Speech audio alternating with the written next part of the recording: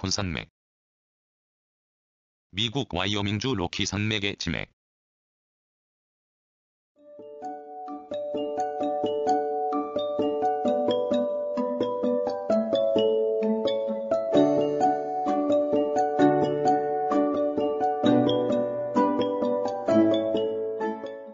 최고봉은 클라우드봉. 몬테나주의 남부에서 와이어밍주 북부에 걸쳐 이어진 산맥으로 길이 약 200km에 이른다. 클라우드봉을 비롯하여 매더피크, 헤젤턴 피크 등 3,000m 이상의 고봉이 솟아 있다.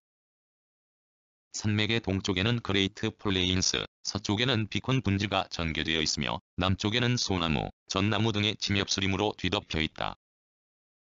또한 산기슭의 구릉지대에서는 가축의 방목과 관개 농업도 이루어지고 있다.